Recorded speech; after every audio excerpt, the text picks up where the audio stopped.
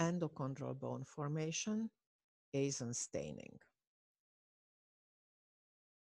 This is the zone of mesenchymal invasion. Down here you see a little thin layer. That's the bony collar formed by desmal ossification. Here you have the cartilage, and here the bluish territories are the newly formed bony spicules. In between the bony spicules up here, you have a loose connective tissue that we call primitive bone marrow. Further down, you have red bone marrow. In the cartilaginous territory, you see vessels breaking in. These show that soon the secondary ossification center would form. If we enlarge the cartilage, then we see the resting cartilage. This is here the resting cartilage. And if we proceed in the direction of the mesenchymal invasion, then we see the signs of proliferation. The cartilage cells line up. They form longitudinal rows. Then the longitudinal rows enlarge.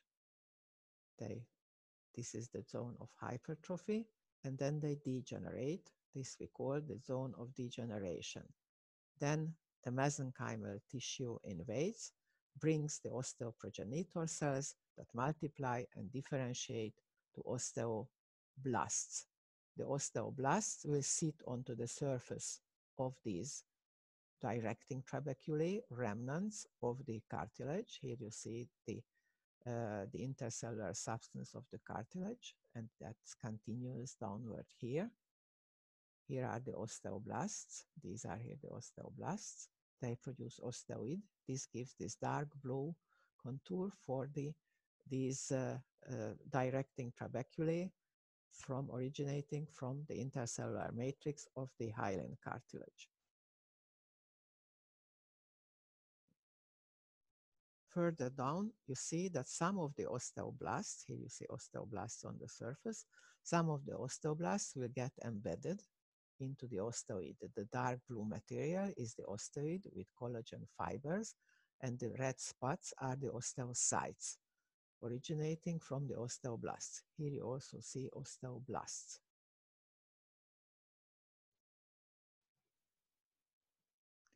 Moving down to the diaphysis, you see on the surface of the bony spicule the osteoblasts, but many of these are already embedded here. These are the osteocytes.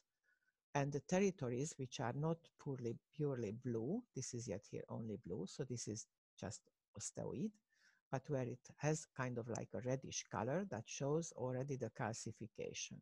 So these are here, or these territories are partially uh, calcified. This bone, what, for, what is formed here, is a woven bone, which will have to be replaced by lamellar bone later.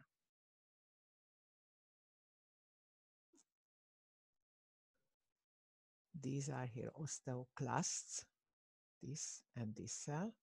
You see the many nuclei with the nucleolus in it. Here also the nucleus and the nucleolus and the cytoplasm of the cell. It's typical as it's sitting on, a, on the tip of a bony spicule uh, like a cap.